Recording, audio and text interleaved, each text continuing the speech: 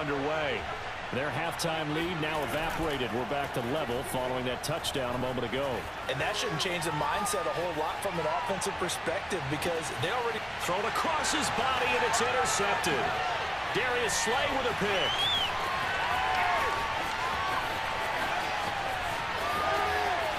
There he goes right side. And he takes the